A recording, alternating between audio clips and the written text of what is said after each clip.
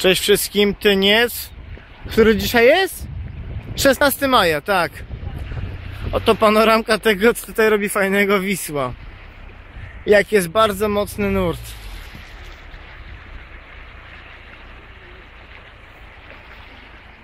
Tutaj mamy głównego inspektora e, wodnego. Tutaj właśnie sprawdza stan umocnienia wałów, czy się nadają do użytkowania. I oczywiście głównego autora filmu w roli głównej. No, ale nurt fakt faktem jest bardzo szybki.